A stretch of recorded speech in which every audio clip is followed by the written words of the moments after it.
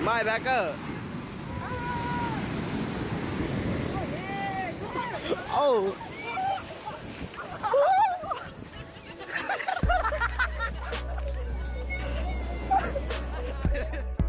Incapacity of the spirit is taken away by only you. Be convicted and let grace take its place. For the outer body dies, the spirit, is eternal. Let prayers be of thankfulness, gratefulness, and glorious words. Strengthen yourself by adjusting to the shift, and don't fall through the cracks. For the Lord is always surrounding you. Written by Brianna and supported by her seven kings.